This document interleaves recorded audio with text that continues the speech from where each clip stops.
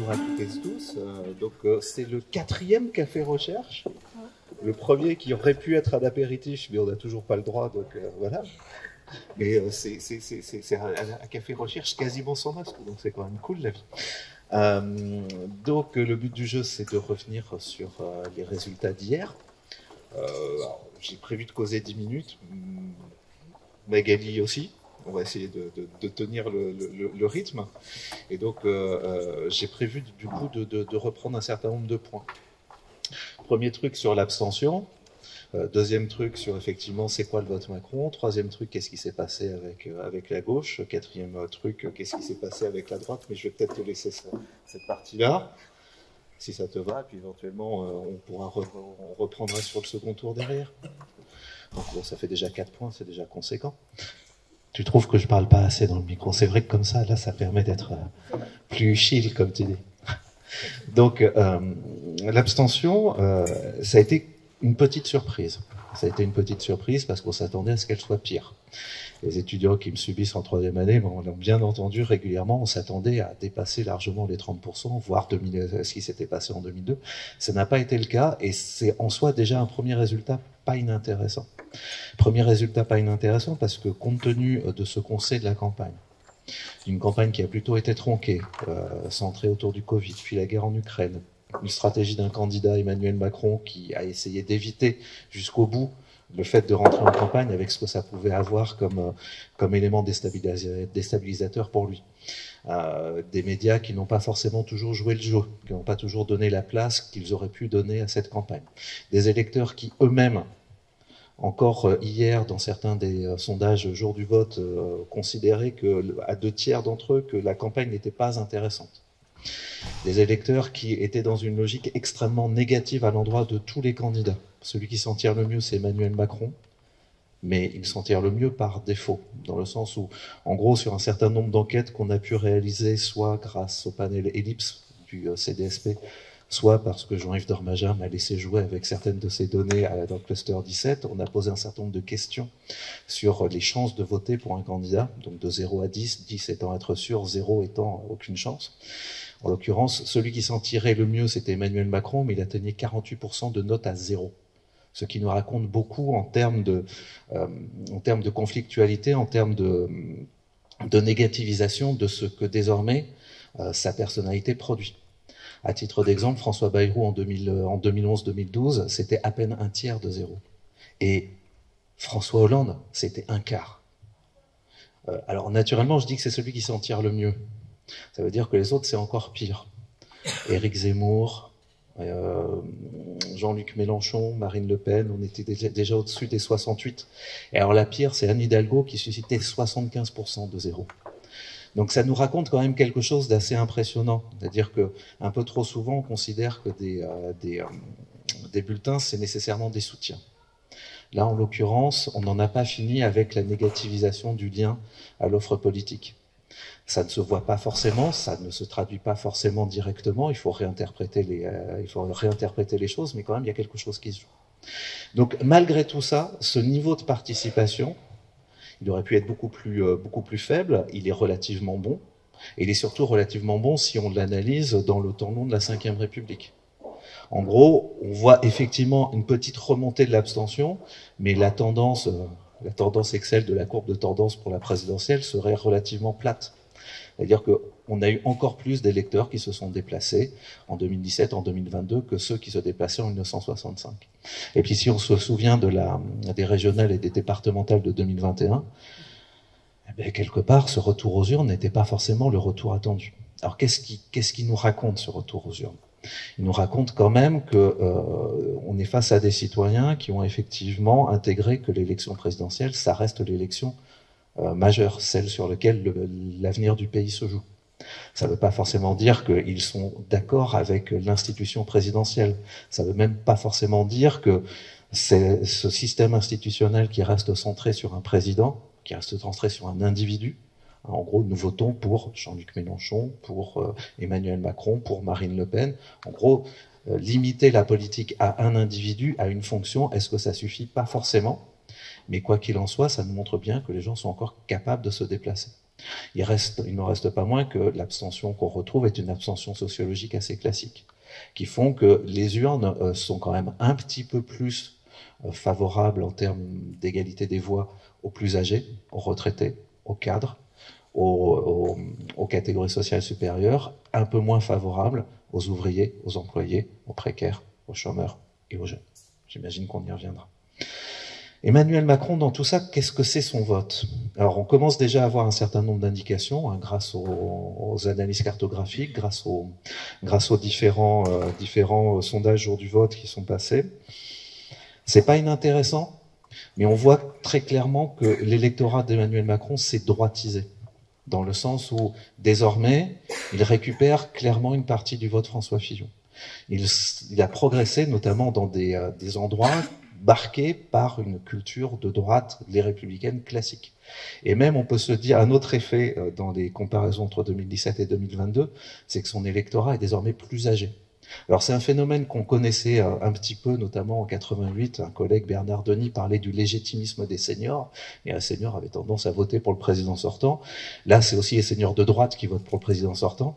Et si vous regardez en ce moment les cartes que le monde a pu sortir, c'est assez drôle de voir que, par exemple, dans notre région, euh, les plus fortes progressions d'Emmanuel Macron, c'est à Royan, ville héliotropique s'il en est, à Arcachon, ville pour les retraités s'il en est, mais également euh, dans le Médoc à Soulac, à Lacano, à Carcan, à Hortin, en gros des, des endroits du Médoc qui effectivement attirent plutôt euh, les retraités.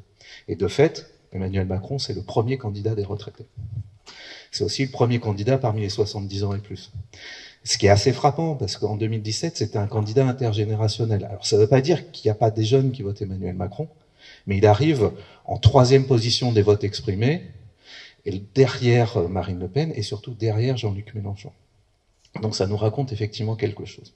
Ce qui est quand même la force d'Emmanuel Macron, c'est que malgré tout, il réussit à être transclasse aussi. C'est-à-dire qu'il y a des ouvriers, des employés qui votent Emmanuel Macron. Simplement, les plus forts taux de vote euh, en, soutien sont effectivement des votes qu'on retrouve plutôt dans les catégories supérieures, plutôt chez les retraités, plutôt chez les riches. Et donc, il y a quelque chose d'assez intéressant de ce point de vue-là. Euh, Qu'est-ce qu'on peut dire encore? Vraisemblablement, Emmanuel Macron a profité d'un effet vote utile en défaveur de, Valérie Pécresse. Le bloc gauche, il n'est pas inintéressant non plus, et donc d'ores et déjà, effectivement, je sais qu'un certain nombre d'entre vous êtes déçus.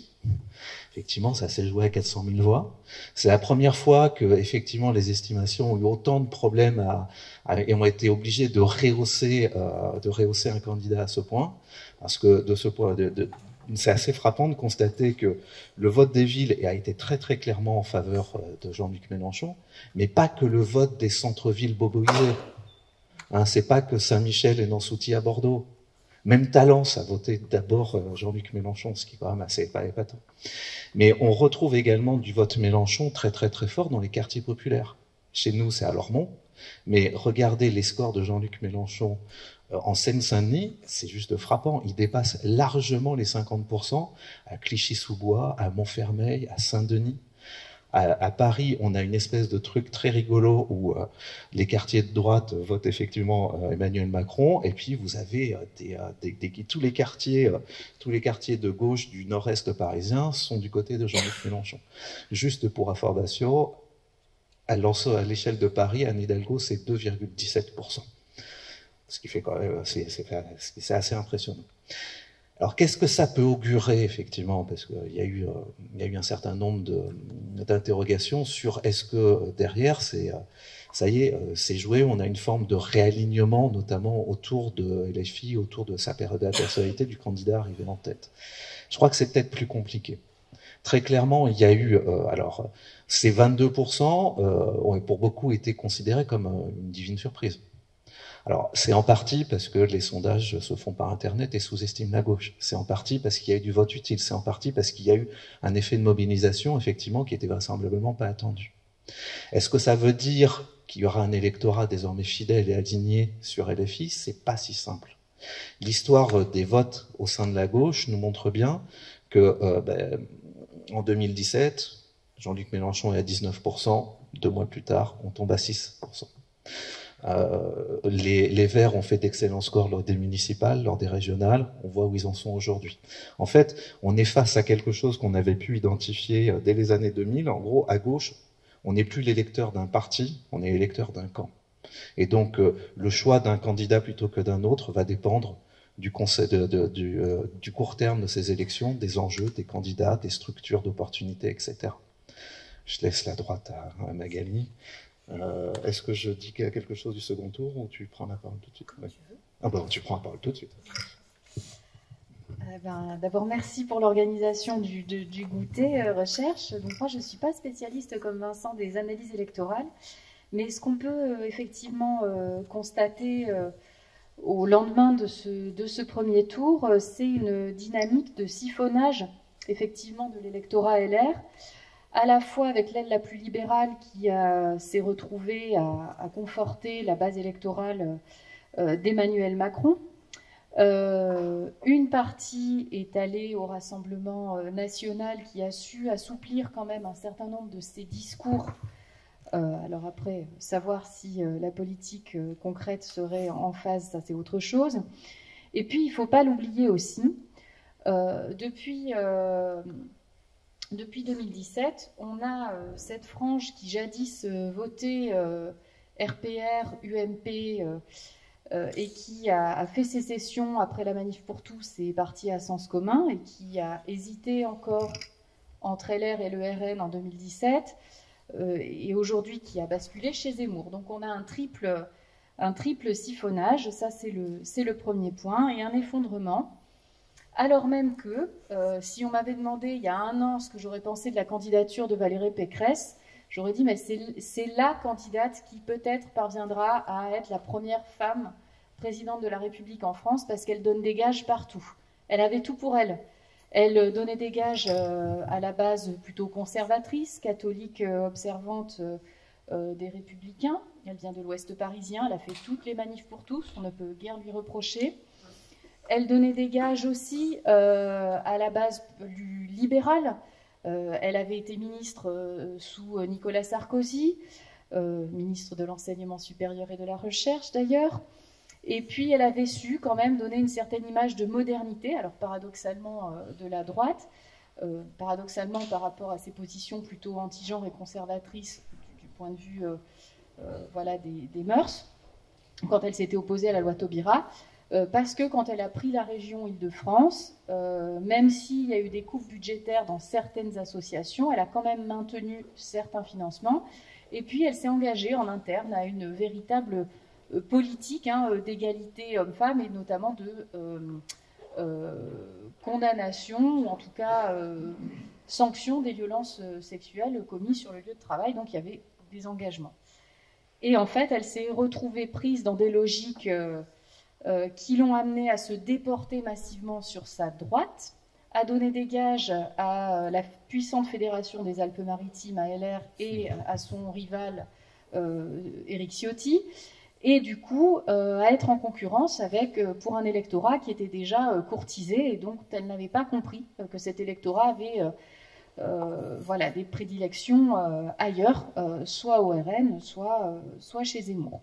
Et puis du côté libéral, eh bien Là encore, l'offre euh, euh, présidentielle, la manière de gérer la crise du Covid, euh, de soutenir les entreprises, puisque c'est toujours pareil, hein, à droite on n'aime pas l'impôt, mais on aime bien les aides publiques quand même.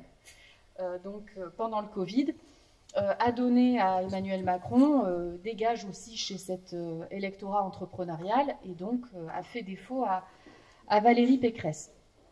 Ce qu'on pourra noter donc, c'est euh, c'est que cette candidate qui avait tout pour elle en termes de genre pour, euh, conquérir les marches de l'Élysée euh, n'a pas réussi, et pas seulement pour des questions de sexisme et de résistance de son appareil, de son organisation politique, qui, il est vrai, ne l'a pas secondée, ne l'a pas entourée comme on aurait pu s'y attendre, mais vraiment pour des questions de stratégie politique, selon moi, qui, sont orthogonales, si vous voulez, au, sexisme en politique. Ça, c'est le, le, premier point.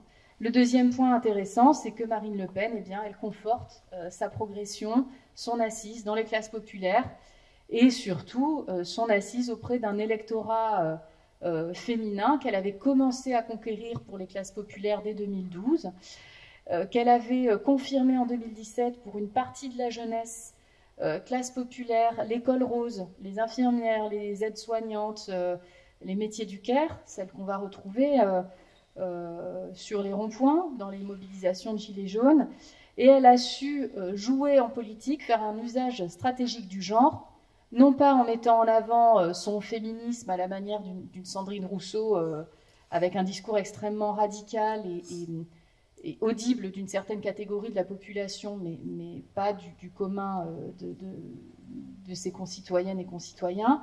Elle, elle s'est posée plutôt comme la main gauche de l'État, comme la figure maternelle de l'État-providence, honni et fustigé par Éric Zemmour, qui voit dans la féminisation de la société, euh, dans la dévirilisation de la société, trop d'aide donnée aux gens. On est dans un État qui est trop puissant, qui est trop maternant. Elle, Marine Le Pen, elle a joué cette carte de protectrice des classes populaires et des femmes, et ça lui a réussi, euh, puisque euh, eh les gens qui sont préoccupés par le pouvoir d'achat ont voté pour qui? Pour Mélenchon, ce qui est logique, mais aussi pour Marine Le Pen. Elle incarne effectivement la défendresse du pouvoir d'achat en jouant cette carte-là et ce rôle de genre-là. Euh, dans ses affiches, effectivement, elle se positionnait, elle se posait comme une, femme d'État. Euh, là aussi, une manière d'incarner euh, la fonction présidentielle, de se donner une, stature et donc de définir un leadership qui jusqu'alors était à inventer à l'extrême droite, puisque quand on connaissait des militantes, elles étaient souvent dans des stéréotypes de, de, genre, des types de féminité assez traditionnelle ou dans la séduction, reprenant des codes euh, très, euh, très typés. Et là, euh, elle, a, elle a un petit peu modifié son, sa manière d'incarner potentiellement le, rôle. Et, à mon avis, ça va peut-être contribuer à la légitimer au, au, second tour, en tout cas au premier, c'est assez certain. Ce qu'on pourra noter aussi sur la question du genre dans la campagne, c'est que si le. Alors, merci Vincent d'avoir attiré mon attention là-dessus.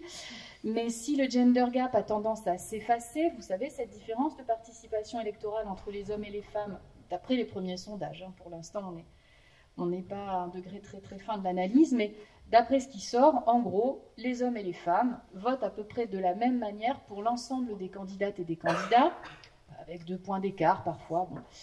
Mais là où il y a un gros écart, c'est chez Éric Zemmour.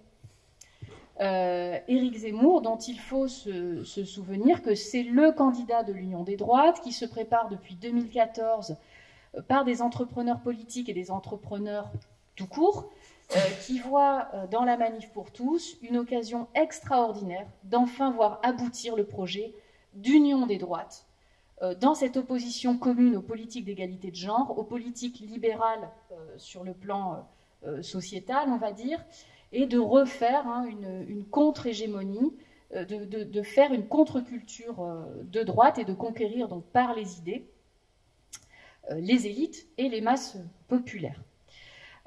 Et donc depuis 2014, cette, cette candidature d'union des droites se prépare et effectivement c'est pas Robert Ménard qui va emporter le morceau, ce sera Éric Zemmour. Il y a eu des hésitations pour différentes raisons, et il va pouvoir compter sur un certain nombre de réseaux, dont Sens commun, donc euh, cette structure parapolitique à, la fois dans LR, mais en dehors de LR, qui, s'est constituée à l'issue de la démobilisation de la manif pour tous, qui a eu du mal à se rallier à François Fillon en 2017, puisque son candidat favori, c'était euh, Jean-Frédéric Poisson, celles et ceux qui ne connaissent pas un candidat chrétien-démocrate, qui assumait sa foi hein, de manière ostensible. Et là, ben, curieusement, euh, va soutenir euh, Éric Zemmour, en dépit du fait qu'Éric Zemmour est juif et que euh, la question du catholicisme est quand même un marqueur politique et identitaire extrêmement important pour eux. Mais Éric Zemmour leur donne des gages, puisqu'il a patrimonialisé le catholicisme, il est presque même en termes d'identité politique plus catholique que, que la majorité euh, des, euh, des, fidèles.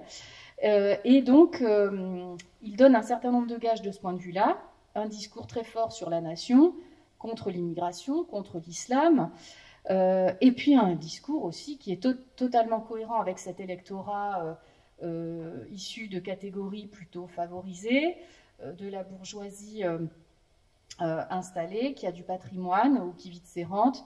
Et le discours très libéral d'Éric Zemmour leur convient tout à fait. Donc il va bénéficier de ce soutien-là.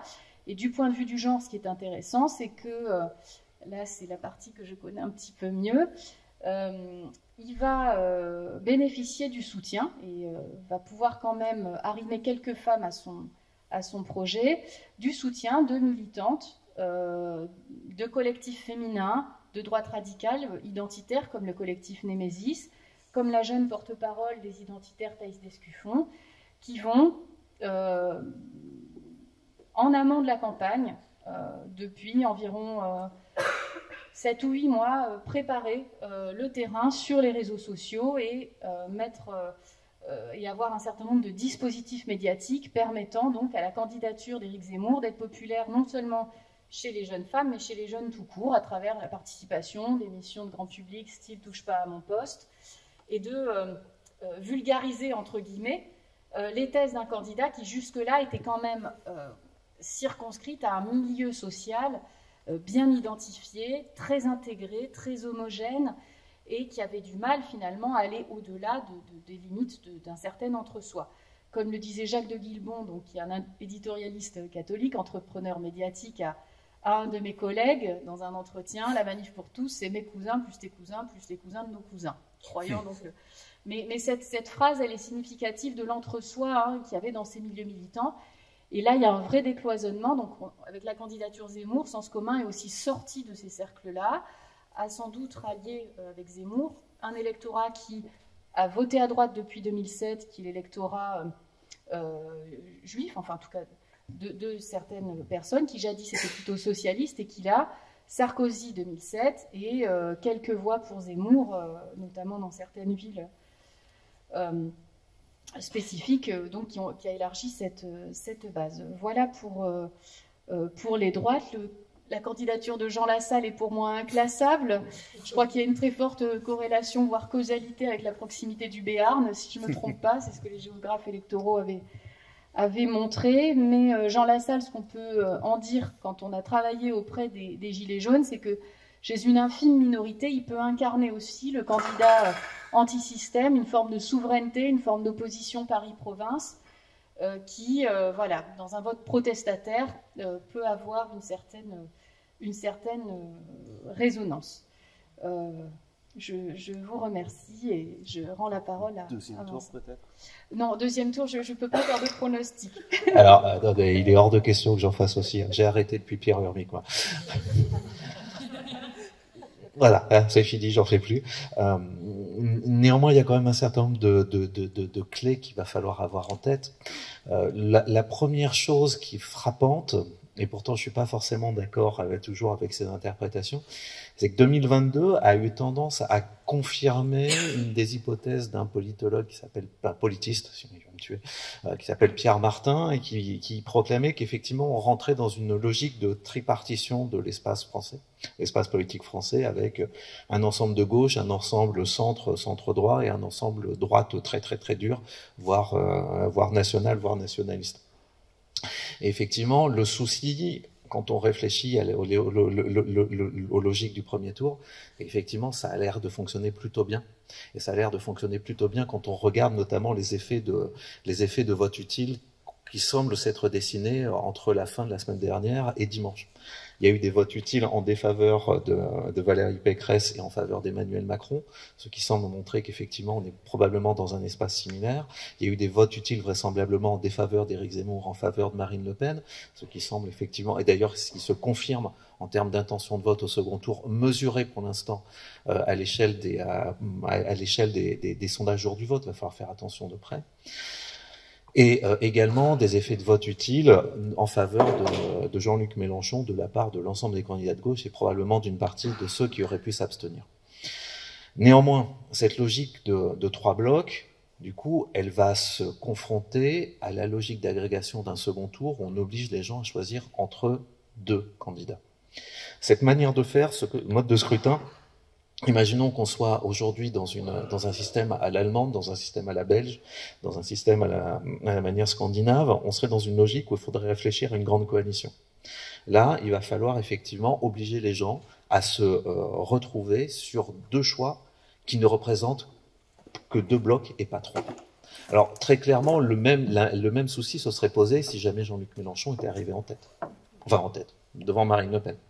Euh, là, dans ce cas, c'est l'extrême droite qui aurait beaucoup de mal à se reporter.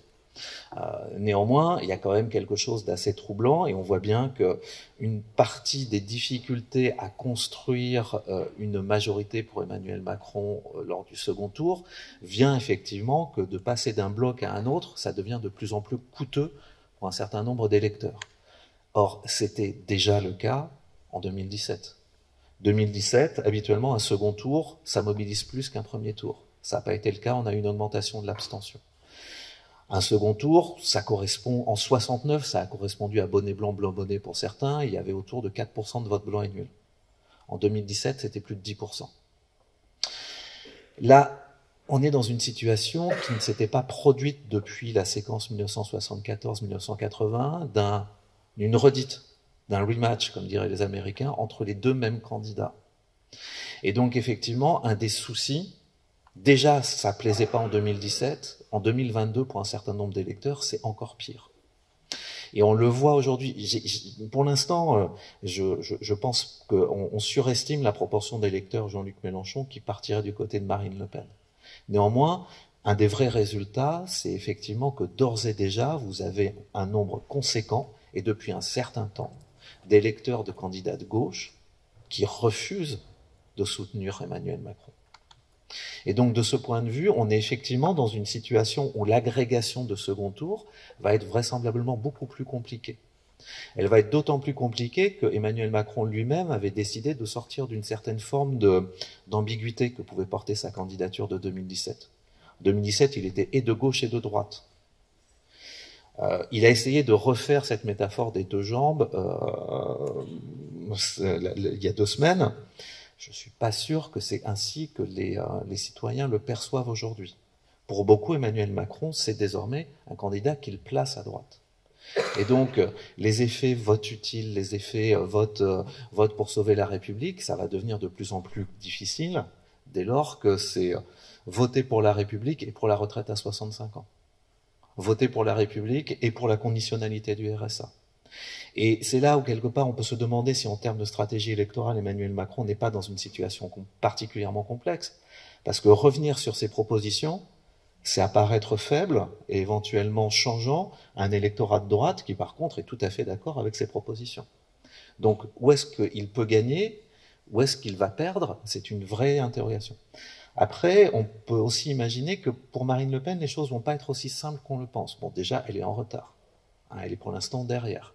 Elle continue à susciter quand même plus d'opposition qu'Emmanuel Macron. Mais et, le souci pour elle est désormais qu'elle n'a plus son paratonnerre. Elle n'a plus celui qui lui a permis de s'adoucir, celui qui lui a permis euh, de parler de petits chats, euh, de parler de pouvoir d'achat sans avoir à trop parler d'immigration, parce que là, c'était bon, c'était clair. Éric Zemmour n'est plus là pour prendre la foudre. Alors soyons clairs, il l'a cherché la foudre. Hein. Ça faisait partie de sa stratégie médiatique que d'exister et que d'essayer de, maintenir l'agenda de la campagne autour de ses préoccupations, autour de son terrain. il n'empêche que son absence désormais va mettre Marine Le Pen dans une situation où elle va devoir effectivement justifier de son programme, elle va devoir justifier d'un certain nombre de critiques en termes de faisabilité, etc. Donc les choses vont pas être aussi simples. Et quoi qu'il en soit, euh, et ça va être une des clés de la fin de ce second tour, quel que soit celui qui sort, il va falloir regarder de près effectivement l'abstention, les blancs et nuls, et vraisemblablement qu'on va être dans une situation où ben, il y aura probablement pas, comme d'habitude, un effet état de grâce, un effet, euh, cette, fenêtre politico-médiatique qui fait que un président est considéré comme légitime et considéré comme pouvant décider quelque chose qui est aussi une construction. Hein. Il n'y a, rien de mécanique à un état de grâce. François Hollande n'avait pas connu d'état de grâce. Emmanuel Macron, oui. Euh, et donc on peut craindre que ça soit effectivement le cas et que derrière la légitimité du président soit clairement euh, entamée dès le début de ce possible second mandat, si c'est Emmanuel Macron qui l'emporte, dès le début du premier mandat de Marine Le Pen, si c'était elle qui l'emportait. Voilà, ben on passe à vos questions, les amis.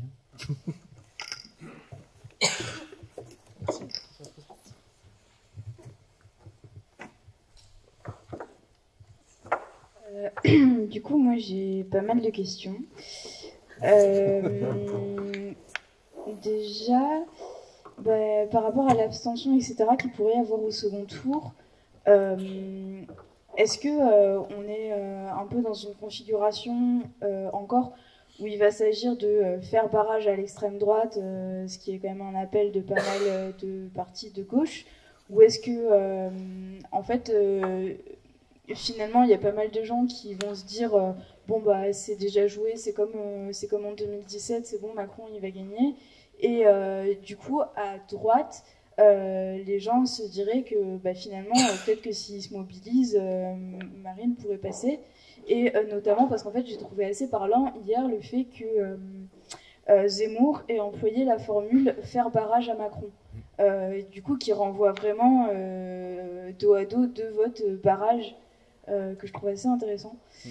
Et euh, ouais, du coup, il y, a un peu une question là-dessus. Et euh, il me semble que Marine Le Pen a fait quand même des bons scores dans les Antilles. Enfin, Marine, Mélenchon a fait vraiment les meilleurs scores. Mm. Mais Marine Le Pen, derrière, a fait des plutôt pas trop mauvais scores, je crois. Et c'est des zones où l'abstention est assez forte. Est-ce qu'on pourrait s'attendre là à un sursaut de ce côté-là aussi enfin, Est-ce que finalement les, les, l'idée d'un vote barrage contre Macron euh, pourrait un peu s'écrouler. Euh, voilà.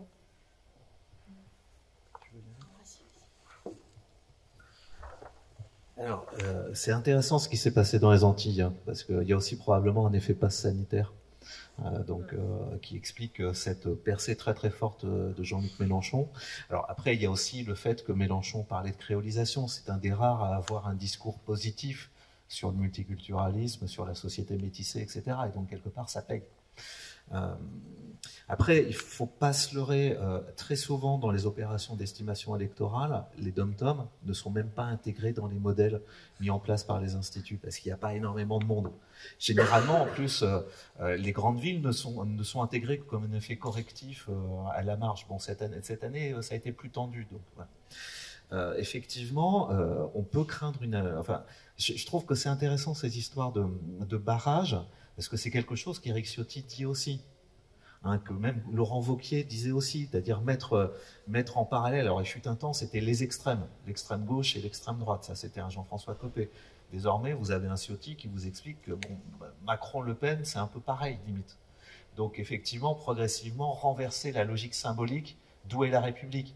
Ce d'autant plus que Marine Le Pen, lors de son discours, mais ça, c'est toi la spécialiste, hein, a beaucoup, beaucoup, beaucoup utilisé le terme de valeur républicaine. Là où il y a 20 ans, c'était clairement des valeurs qui étaient utilisées contre le Rassemblement national. Euh, du coup, on ne sait pas trop. Il peut y avoir effectivement soit un effet c'est déjà fait, et donc les gens euh, euh, partent en vacances, mais est-ce que ça va être aussi simple Pour l'instant, quand on regarde les sondages d'intention de vote, il faut s'en méfier naturellement. Hein. Euh, notamment parce qu'ils ont été faits, ils ont été constitués avant qu'on connaisse les résultats du, euh, premier tour.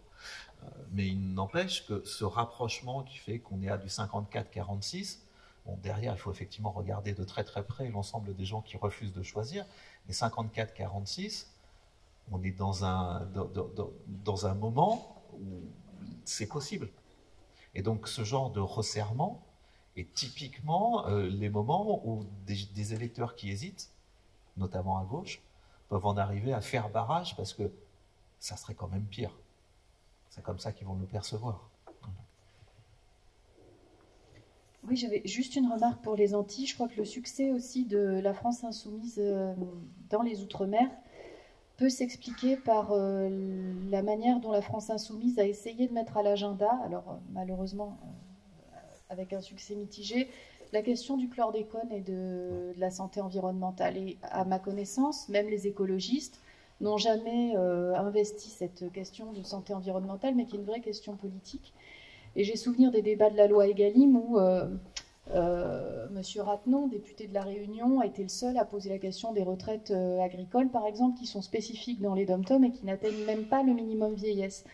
Et je crois quand même qu'il ne faut pas sous-estimer aussi ben, euh, le travail de terrain de ces, euh, de ces élus et de ces militants qui a pu expliquer ça. Après, il y a toujours un vote RN, effectivement, mais là, ce sont les, euh, ce sont les Blancs qui, qui souvent sont ces électeurs-là. et puis, il faut rappeler aussi que le vote RN, eh bien, il a des sens très différents. Et il y a des enquêtes intéressantes hein, qui expliquent bien et qui s'attachent à montrer que oui, bah, effectivement, il y a des Antillais et des Antillaises euh, noirs qui votent euh, Marine Le Pen, mais parce que justement, elle a un récit qui peut sembler euh, peut-être paradoxal ou étrange à vos yeux, mais elle a un récit, elle a une proposition universaliste. Hmm. Elle ne dit plus qu'elle veut exclure de la citoyenneté française nos compatriotes musulmanes et musulmans euh, noir antillais, c'est fini ça. Enfin, pour elle, euh, les Français sont Français sans distinction de peau ou de, couleur de peau et de religion. Et ce discours-là, républicain et universel, il peut aussi rassurer euh, peut-être des électorats qui, sur d'autres enjeux, partagent, partagent certaines de ces, de ces propositions. Donc, après, à voir là encore en acte, hein, ce que les gens votent et ce que les gens disent, c'est pas tout à fait la même chose. Euh, mais en tout cas, ce récit universel, universaliste, que ne propose plus toujours la, gauche, parce que l'universalisme fait débat aussi, eh bien, elle, elle, a beau jeu de le reprendre dans une dynamique qu'on peut qualifier de rhétorique réactionnaire, c'est-à-dire on reprend le discours de l'adversaire, on, on, en transforme la substance, mais on en conserve euh, les mots. Et c'est quand même amusant de voir, euh, voilà, euh, la présidente du Rassemblement national se faire la championne de, la cause de la République, alors que à sa fondation, à la fondation de son parti, il y avait bien des, militants et des cadres qui haïssaient la gueuse, quoi. Donc c'est une mutation qui est intéressante. Je, je m'arrête là, je suis désolée d'avoir été longue. bonjour, merci pour votre présentation. Euh, moi, j'ai une question sur euh, la gauche. Euh, on a beaucoup dit que la, gauche allait être victime à l'élection de, son morcellement, du fait qu'elle n'avait pas réussi à se unir derrière un candidat. En fait, quand on regarde les scores qu'ont fait tous les candidats de gauche cumulés, on est largement en dessous de ce que n'importe quel. Quand vous avez dit tout à l'heure que les gens qui votent pour Emmanuel Macron s'identifient plutôt à de la droite maintenant. Donc, quand on additionne tous les candidats considérés comme de droite, on a vraiment quelque chose qui écrase la gauche. Donc, est-ce que la France a envie d'un candidat de droite, est-ce que les Français sont de droite C'est la hmm. question que je, hmm. que je me pose.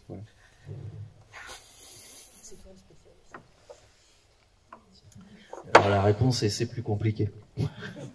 Euh, c'est plus compliqué. Euh, il faut bien avoir en tête que une un, pays électoral, c'est pas forcément le pays réel. Dans le sens où euh, euh, une campagne, c'est aussi, euh, pas, c'est, une sélection de problèmes, c'est une sélection de certaines manières d'aborder certains problèmes, c'est une sélection qui dépend aussi euh, de qui sont les candidats et comment les candidats se, se constituent. très clairement, si on regarde, par exemple, on a beaucoup parlé immigration, intégration, grand remplacement, insécurité. C'est un effet d'agenda très classique vous avez effectivement un certain nombre d'acteurs qui avaient tout intérêt à ce que cet effet d'agenda se maintienne. Vous êtes Éric Zemmour, si vous êtes sur une campagne où on parle de réchauffement climatique, je pense que ça va être compliqué pour vous. Vous allez avoir du mal à y exister. Vous êtes euh, Éric Zemmour et la question c'est les inégalités sociales. Ça va être compliqué pour lui. C'est moins compliqué pour Marine Le Pen. C'est compliqué pour un Emmanuel Macron aussi. Vous voyez, enfin, grosso modo, les effets de campagne, c'est aussi ça. Et puis derrière, il y a les cadrages autour de ces effets de campagne, c'est-à-dire quelles sont les solutions qu'on retient. Typiquement, le pouvoir d'achat, si c'est juste effectivement euh, donner de l'argent pour, euh, pour faire des pleins, c'est pas la même chose que si vous gérez la question du pouvoir d'achat par euh, une redistribution des richesses, une augmentation des impôts des plus riches, etc. Vous avez plein de manières de faire. Vous pouvez avoir un cadrage du coup égotropique centré sur les individus ou sociotropique. Typiquement, travailler plus pour gagner plus, c'est une solution. Euh, faire un peu plus d'égalité salariale, c'en est une autre. Donc voilà, il y a des manières de parler, d'aborder. Euh. Et donc, le truc assez frappant, vous pouvez vous dire, euh, l'extrême droite n'a jamais fait autant en termes de voix. Éric Zemmour plus Marine Le Pen plus Nicolas Dupont-Aignan, si on le met de, ce côté-là, et après tout, il voulait faire Premier ministre de Marine Le Pen en 2017, on est au-dessus des 33%. Il fut un temps où on s'inquiétait quand le RN dépassait les 16%. Là, désormais, on est à 33%. C'est plus que l'ensemble des candidats de gauche réunis. Donc, euh, vous pourriez vous dire, ça va pas, cette société ne va pas bien, et donc le prochain coup, euh, ça sera ça.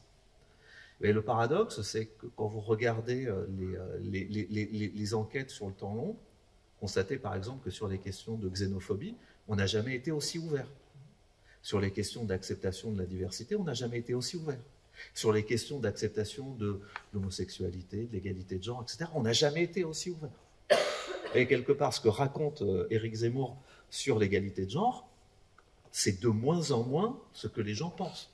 Effectivement, et c'est ce qu'on constate dans les conduites, dans euh, l'évolution des mœurs, etc., Sur la question de la redistribution, pareil, il y a de l'espace pour des propositions de gauche.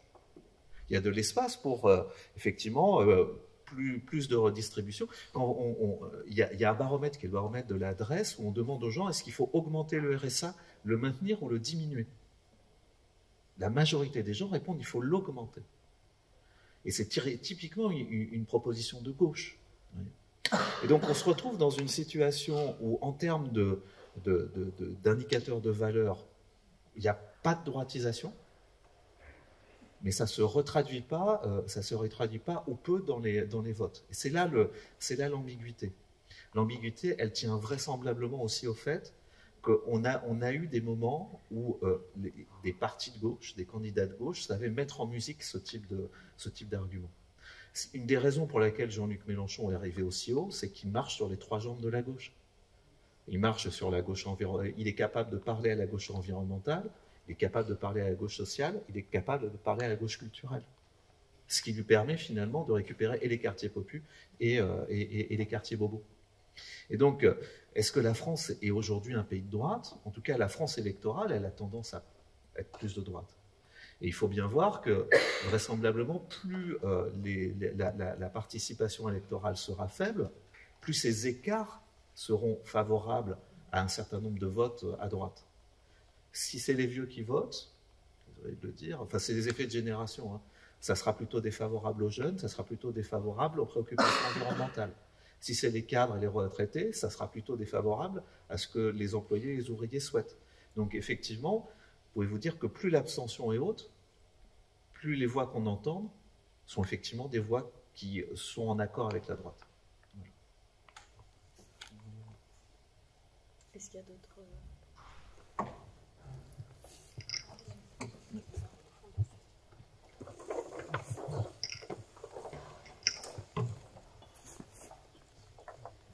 oui, bonjour, merci beaucoup pour votre présentation. Euh, ce matin, on avait Nicolas Rousseli qui débattait avec Nona Meyer, hmm. et l'historien soulignait que politique, politologue et euh, historien étaient orphelins de concept. Alors aujourd'hui, êtes-vous orphelin de concept Bonne question. Les concepts, t'es historienne et, et, politiste. Hein. Oui, alors je ne fais pas de la théorie politique, non, je crois qu'on n'est pas du tout orphelin de, concepts. En fait, je ne sais pas trop euh, ce, que, ça signifie, puisque je n'ai pas assisté au débat et sur quoi porter les enjeux. Non, des concepts, euh, c'est pas au contraire euh, ce, ce, qui, ce qui manque. Je vais faire un, petit déplacement par rapport à la campagne, mais typiquement sur la question de la, de crise écologique que nous traversons et à laquelle les, plus, les générations les plus jeunes sont particulièrement sensibles. Ça ne veut pas dire que les boomers ils sont indifférents, bien au contraire, mais euh, euh, euh, par exemple, ce concept d'inquiétude environnementale qu'évoque ma collègue anthropologue Alix Levin nous permet, dans notre enquête sur, sur le mouvement social des Gilets jaunes et auprès des Gilets jaunes, de montrer comment les rapports à l'environnement euh, s'exprime euh, chez les classes populaires avec des déclinaisons variées. Et par exemple, ben, nous, ce qu'on propose, c'est d'analyser certaines pratiques en termes de praxis écologiste, euh, écologique populaire, pardon, qui ne s'assument pas en tant qu'écologistes, mais qui pourtant contribuent de manière significative à une très faible émission de gaz carbonés. je pense par exemple à l'immense majorité de ces ménages euh, populaires en milieu rural ou dans, en milieu urbain qui passent par la débrouille pour euh, consommer, qui, qui autoconsomment ou qui font du compost. Euh, tout ce qu'on valorise par des petits gestes du quotidien dans les grandes métropoles comme étant le summum de l'engagement écologiste, en fait, bon, pour ces gens-là, ça va plutôt de soi, mais effectivement, ça va être plus compliqué de leur dire euh, police en voiture quand il n'y a pas d'alternative. Donc des concepts, on en a. Après, je ne sais pas s'ils ils nous aident à être outillés pour l'analyse électorale. En tout cas, moi, non, puisque je suis plutôt en sociologie des, des mouvements sociaux et que c'est effectivement la praxis écolo-populaire dans le vote, bof, pas trop. Mais en revanche, ce que ça nous dit, c'est qu'il y a un désajustement, et là on en revient à l'élection, entre l'offre politique et euh, la demande euh, ou les attentes de l'électorat. Et ce qu'on voit bien, c'est ce décrochage avec le niveau d'abstention, ce décrochage qui se mesure aussi euh, à l'aune des enquêtes d'opinion, ce qui apparaît dans les cahiers de doléances qu'on a dépouillés intégralement euh, avec, euh, avec une équipe de recherche composée de citoyennes et de gilets jaunes d'ailleurs et d'universitaires, et où on voit bien que, contrairement à mes attentes qui étaient que ceux qui avaient participé au cahier de doléances, c'était plutôt des milieux urbains, plutôt favorisés, diplômés, eh bien, ce qui est possible, qu'est-ce qu'on a? On a en fait des doléances qui sont très proches des attentes des Français dans les enquêtes d'opinion, et des revendications principales du mouvement des Gilets jaunes. Qu'est-ce que c'est? Le pouvoir de, enfin, la, possibilité de vivre euh, des revenus du travail ou de la solidarité quand on ne peut pas travailler, qu'on ne peut plus travailler, qui est mieux, selon moi, adapté et outillé. On en revient au concept que la notion de pouvoir d'achat, parce que ce que veulent les gens, c'est plus consommer à gogo mmh. et euh, c'est pas ça qu'on veut. C'est pouvoir remplir son frigo, faire le plein euh, d'essence ou en tout cas pouvoir avoir les moyens de se déplacer pour, euh, pour travailler, pour avoir une vie sociale et affective, euh, c'est pouvoir éventuellement aussi accéder à certains biens culturels qui sont maintenant inaccessibles. et, donc, et donc là, ce qu'on voit, c'est que ça, c'était central dans, dans, ces différents éléments et que l'effet d'agenda de la campagne, et c'est ce que soulignait Vincent, a mis sur le devant de la scène des enjeux qui sont quand même extrêmement loin de ses préoccupations. Dans les cahiers de doléances en Gironde, la question de l'immigration, elle revenait dans moins de 2% du corpus des doléances. C'est rien du tout. C'était la dernière des préoccupations de, nos concitoyennes et concitoyens en Gironde. Et pourtant, euh, dans la pré-campagne, là, les trois mois qui viennent de s'écouler, c'était central. Euh, donc là, on a un désajustement entre l'offre et, la demande sur, le, sur lequel il va falloir peut-être effectivement que les partis politiques se penchent. Ah, il y avait une, euh, question.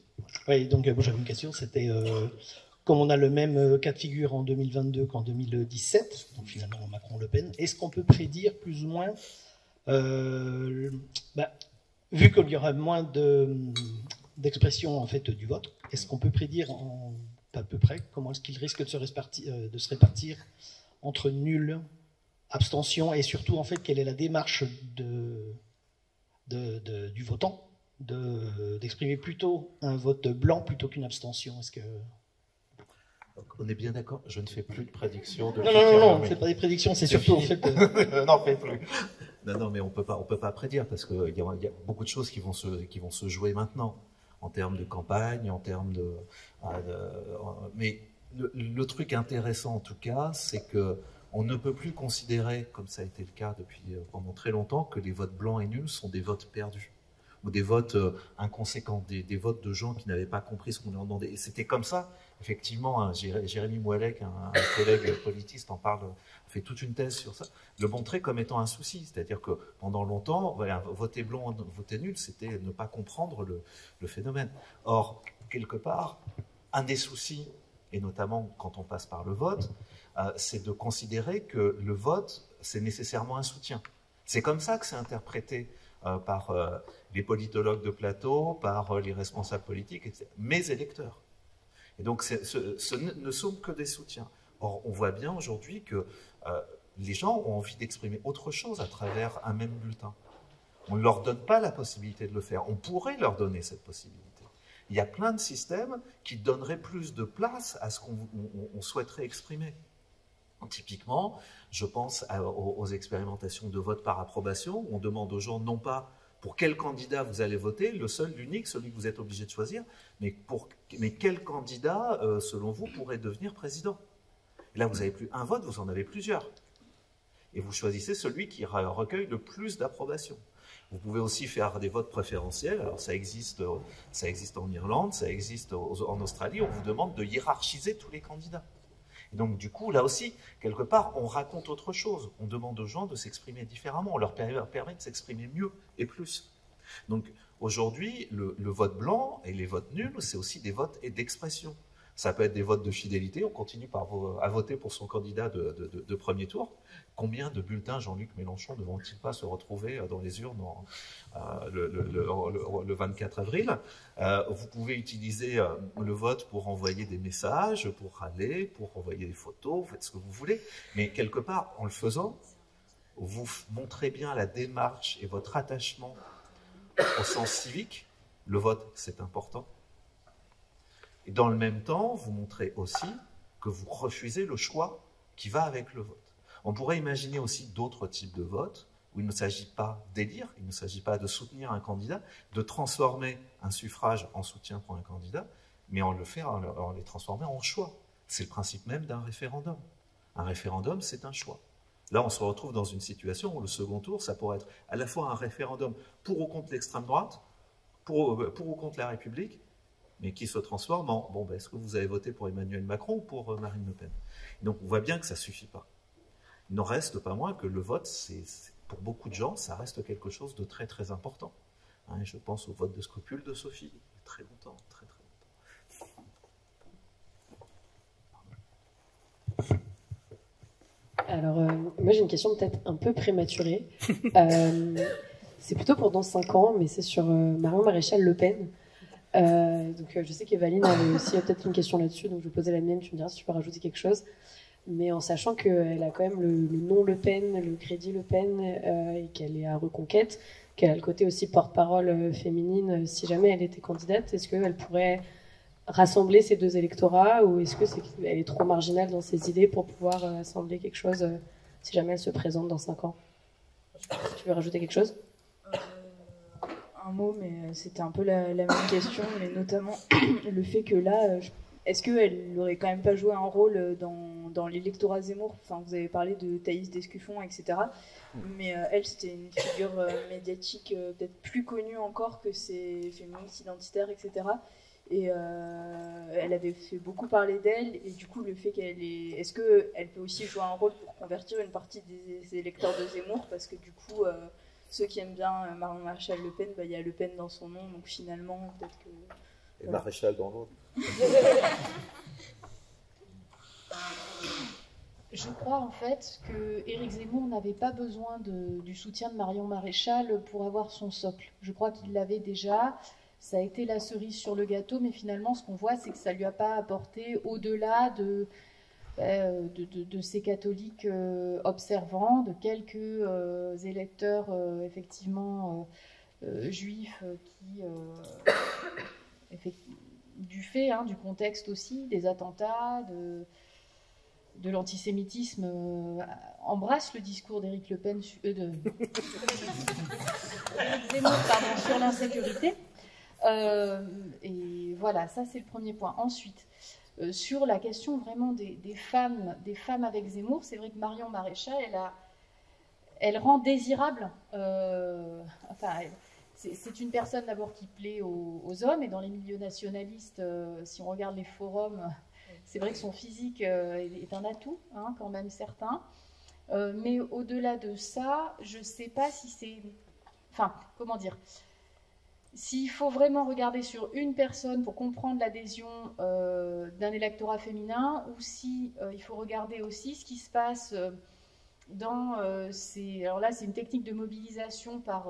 on, saucissonne hein, par groupe, par segment, et on va faire sur le modèle de, de la manif pour tous, où où en fait on avait un segment euh, qui représentait euh, les homos contre la loi Taubira, mmh. un segment c'était les juifs euh, contre la loi Taubira, il y avait chaque groupe social pour, identitaire se, pouvait se reconnaître. Ben là avec Zemmour c'était pareil, donc on a eu les femmes avec Zemmour, et quand on regarde qui sont les femmes avec Zemmour, c'est vraiment des, cadres de sens commun du mouvement conservateur qui...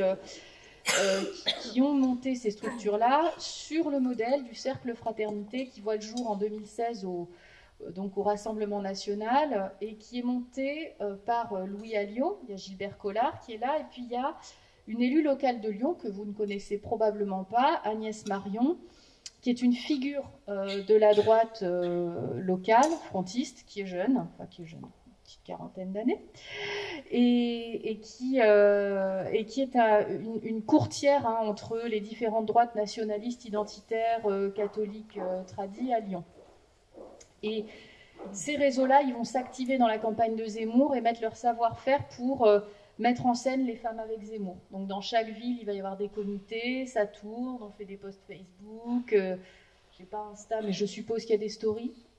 Euh, et on essaie de, euh, de, rendre Zemmour un candidat pro-femme sur le mode galanterie, valoriser la vraie féminité. Et là, on revient à Marion Maréchal. La vraie féminité, c'est quoi? C'est des femmes comme elle, effectivement, qui assument d'être des femmes, qui assument d'être dans la séduction, et par leur comportement aussi de valoriser les femmes et les hommes euh, qui les séduisent. C'est aussi cet arrangement des sexes-là que propose cette droite, euh, cette droite-là et qui me semble intéressant. Mais après, je ne suis pas sûre quelle est la capacité Marion Maréchal à rassembler au-delà, justement. Parce que, pour le coup, contrairement à sa tante, sur l'IVG, elle est très ferme, elle est contre. Euh, elle a une conception ethno-raciale assumée euh, de la communauté politique, de la nation, ce qui, encore une fois, est plus le cas de manière aussi claire, en tout cas dans le grand public, pour Marine Le Pen. Euh, dans les médias, Marine Le Pen se garde bien, comme je vous le disais, d'avoir ces références-là comme socle politique commun. Au contraire, c'est plutôt la volonté de vivre ensemble, hein, le plébiscite de tous les jours. Donc, voilà, je pense que cette conception très exclusive du politique, euh, le fait de ne pas reconnaître un certain nombre de droits des femmes comme des droits des femmes, ça, va, ça va euh, faire que les, enfin, ça va la couper d'un électorat féminin qui, vote pour sa tante. Et puis en France, on vote pas pour les gens qui nous ressemblent, sinon Philippe Poutou serait président de la République. Donc les femmes votent pas nécessairement pour, euh, pour des femmes.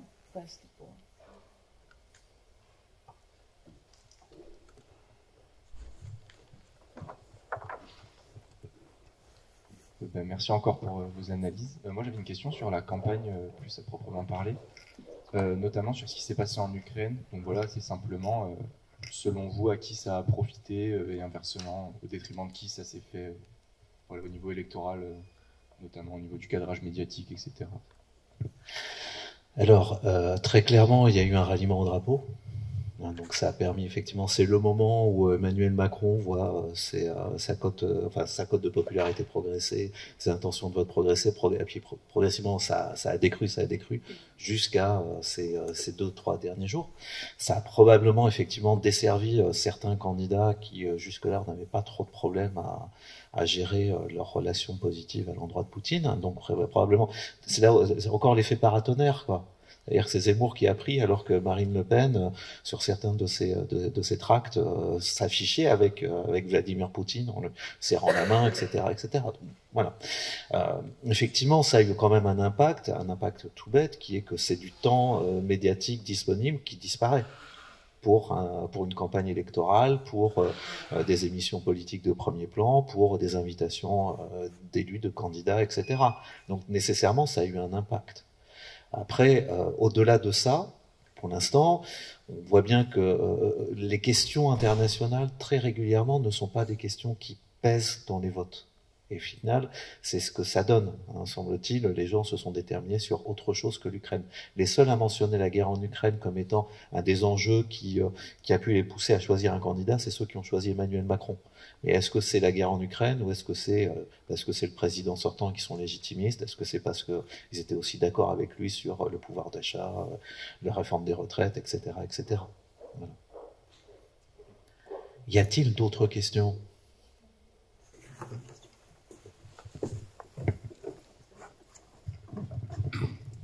Sur la guerre en Ukraine, il n'y avait que 15% des personnes là, dans le sondage euh, premier tour Ipsos qui disaient s'être déterminées par rapport à ça.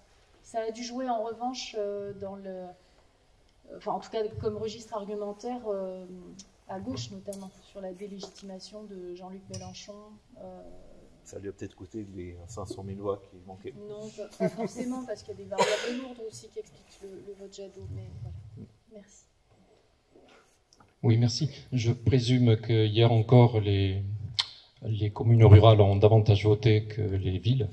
J'ai pas encore étudié la, géographie électorale d'hier. Euh, est-ce que l'instauration future d'un projet de vote obligatoire tel qu'il existe en Belgique pourrait changer la donne?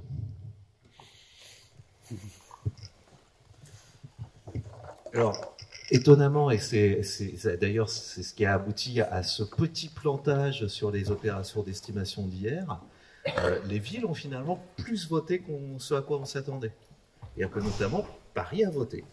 Et donc effectivement, et, et, euh, en Seine-Saint-Denis, il y a eu plutôt une bonne participation. C'est pas toujours le cas, mais euh, ça s'est plutôt passé. Donc de ce point de vue-là, c'est pas le. Alors, par contre, clairement, il y, a des, il y a des votes différents entre les villes et les champs. Enfin, après, il y a des champs et il y a des villes. Hein. Quand vous regardez la Gironde, vous avez du RN dans le Blayais, vous avez du RN dans le Haut-Médoc, vous avez du RN dans l'Entre-deux-Mers. Puis bon, vous avez aussi du Emmanuel Macron euh, sur la côte et euh, sur certaines communes. Donc voilà, il y a des villes et des, euh, il y a des, villes et des champs. sur la question du vote obligatoire, je pense que c'est un petit peu prendre le problème à rebrousse-poil. C'est-à-dire forcer les citoyens à aller voter, c'est maintenir une culture de minoration des citoyens. C'est-à-dire considérer qu'il faut les éduquer. Et après tout, euh, quand on se souvient de l'intervention d'Yves au précédent Café Recherche, le vote, c'est de l'orthopédie. On avait contraint les citoyens à rentrer dans, le vote, alors qu'il y avait plein d'autres manières de s'exprimer. Par la manif, par la pétition, par la jacquerie, par euh, tout ce que vous pouvez imaginer. Et donc, euh, effectivement, ça serait obliger les gens à aller voter, parce qu'on n'a pas confiance en eux, parce que si on ne les oblige pas, ils ne vont pas le faire ces citoyens qui, euh, ces citoyens qui ne comprennent pas, qui n'ont pas de sens civique. Donc le vote civique et le vote obligatoire, ça suffit pas. Ça suffit pas, et, voire même, ça, ne résout pas le problème, et un des problèmes majeurs dans la démocratie française, qui est que aujourd'hui, la démocratie représentative ne fonctionne plus. En tout cas, vous avez de plus en plus de citoyens qui ne se reconnaissent plus dans cette obligation de choisir quelqu'un qui va vous représenter cette obligation de déléguer vos, préférences, vos souhaits, etc. Donc une, des vraies interrogations aujourd'hui, c'est plutôt, plutôt que de faire du vote obligatoire, peut-être réfléchissons effectivement à trouver des moyens de consulter un peu plus souvent les citoyens. Un référendum d'initiative citoyenne. Hein. Euh, en, euh, en, Suisse, c'est 100 000 personnes. En France, non seulement des citoyens ne peuvent pas le faire eux-mêmes, il faut que ça soit un référendum d'initiative partagée, mais on est à 4 millions. Hein, de signatures pour pouvoir déclencher ce type de référendum. Derrière, ça montre encore, euh, encore une fois cette incapacité ou cette volonté de laisser quelque part les citoyens de côté en considérant qu'ils n'ont pas le niveau. Or, bah, c'est un argument que je donne à longueur de temps, mais on n'a jamais eu autant de gens diplômés capables du coup de jouer leur rôle de citoyen, capables de s'informer et de, capables d'aller chercher de l'information par eux-mêmes. Donc là, on est face à une vraie crise de légitimité que pour l'instant je ne vois pas tellement adressée euh, lors de cette présidentielle. Tu peux peut-être.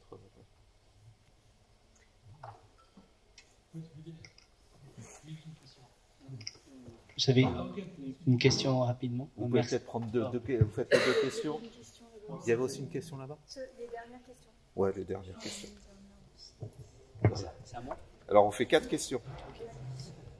Ben, merci Vincent et Magali. Euh, c'est peut-être s'avancer. Moi, j'avais une question sur les législatives et sur la mobilisation lors des législatives. Euh, selon euh, les résultats du second tour, euh, est-ce qu'on ne pourrait pas avoir une mobilisation aux législatives pour la première fois, contrairement à ce qu'on a l'habitude de voir? Est-ce qu'il ne pourrait pas y avoir la campagne de haute, de haute intensité qui mobilise les gens qu'on n'a pas eu en fait tant que ça pour la présidentielle? La question portait aussi sur les législatives. Est-ce que si vous étiez vous deux conseiller du vainqueur ou de la vainqueur euh, du 24 avril, est-ce que vous conseilleriez de dissoudre l'Assemblée? Euh, on, prend toutes les questions et puis on va. Oui, une question.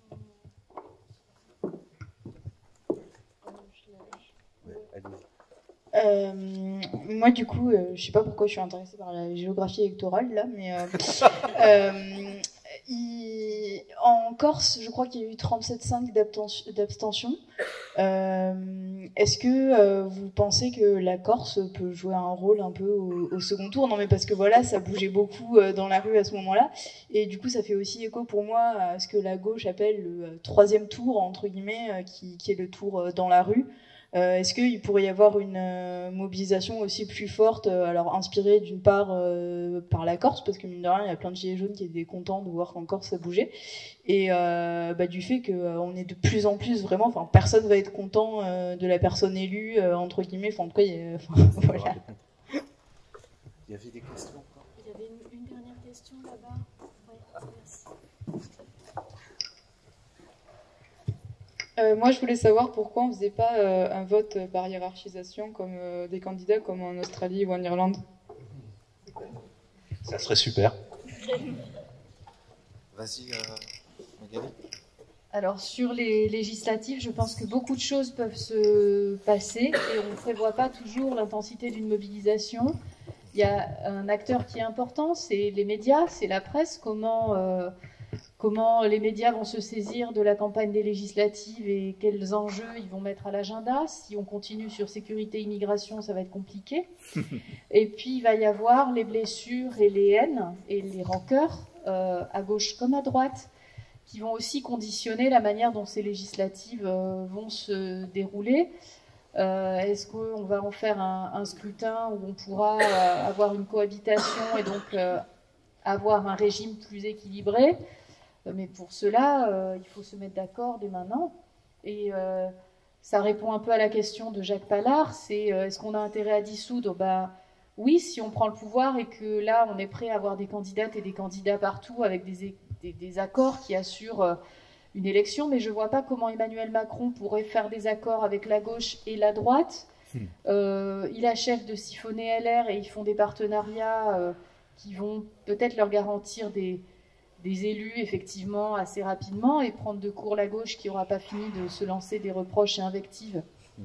et va arriver divisé. Euh, c'est sûr qu'il aurait peut-être intérêt à dissoudre tout de suite. Est-ce que Marine Le Pen aurait intérêt à dissoudre?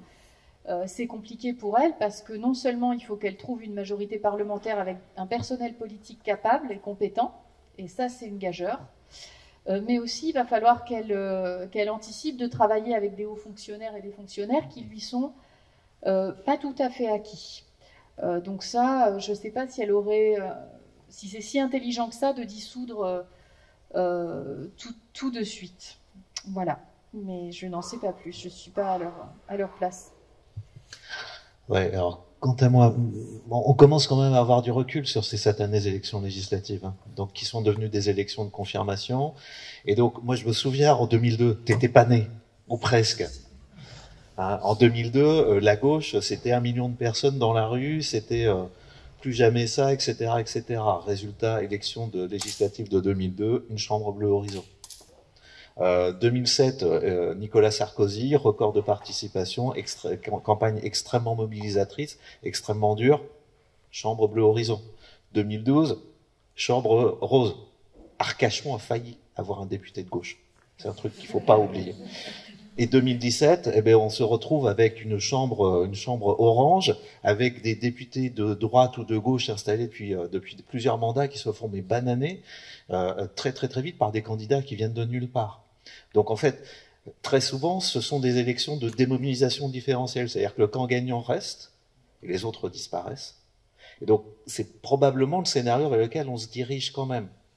Donc, euh, et, ça va rendre encore plus compliqué, à mon sens, cette question de légitimité. Alors, est-ce qu'il y aura la même chambre orange? Mais l'avantage pour Emmanuel Macron, c'est que son électorat est un électorat parce qu'il est plus âgé, parce qu'il est plutôt CSP+, parce qu'il est retraité, parce qu'il est plutôt riche, qui tend à continuer à être présent aux urnes. Donc, c'est une bonne nouvelle pour lui. Euh, la, bonne nouvelle pour lui également, et je suis d'accord avec Magali, c'est la gauche, si elle n'arrive pas unie, va se retrouver dans une situation probablement compliquée. Une qualification au second tour lors de législatives, c'est atteindre 12,5% des inscrits, donc 25% des voix aux exprimés, si tu arrives en troisième position. C'est du trou de souris quand même. Hein. Donc euh, on peut très bien se retrouver effectivement avec de nouveau une gauche qui aura énormément de mal au, second tour, et donc avec beaucoup d'élections qui se joueront entre des, euh, candidats de droite, des candidats macronistes, des candidats RN, etc. etc. Enfin ça c'est un des scénarios possibles. Après, on ne sait jamais. Mais il euh, faut qu'un certain nombre de choses viennent se greffer dessus. Faut-il dissoudre l'Assemblée nationale C'est un coup tactique, comme faire une comme faire une candidature à deux jours de la fin de, la clôture des candidatures et, euh, et se mettre se mettre en branle à trois semaines du premier tour. C'est des coups tactiques. C'est pas très joli. C'est très ça peut être très efficace politiquement en termes de légitimité ou de politique avec un grand P. Gagner petitement, ben c'est c'est pas forcément toujours la bonne chose, quoi. On est bon? Un grand merci. À vous merci beaucoup. À tous d'avoir été là. Merci aux organisatrices. Ouais, merci les filles.